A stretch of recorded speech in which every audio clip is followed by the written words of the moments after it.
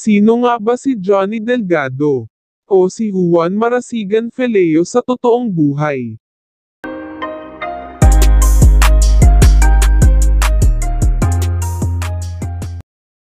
Si Johnny Delgado ay isang kilalang aktor at manunulat. Gumanap siya sa maraming pelikula kasama ang Tanging Yaman. Kailangan kita. La Visa Loca.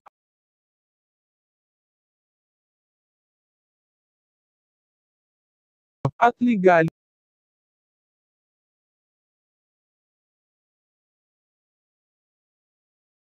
At marami pang iba. Nakilala din ng aktor bilang napakagaling na kontrabida sa larangan ng pelikula. Dahil sa galing niya sa pagganap ay ilang beses siyang hinirang at nabigyan ng parangal. Hinirang siyang Best Supporting Actor sa pelikulang Ligalig noong 2006 at sa angking galing sa pagganap ay nakamit din niya ang Best Actor sa Tanging Yaman, noong 2000. Huling lumitaw ang aktor sa You Got Me, ng Star Cinema na pinagbibidahan nina Tony Gonzaga at Sam Milby. Kamandag ng GMA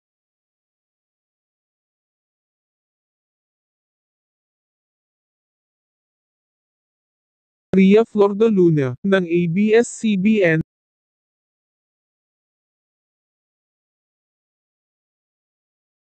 at may bukas pa.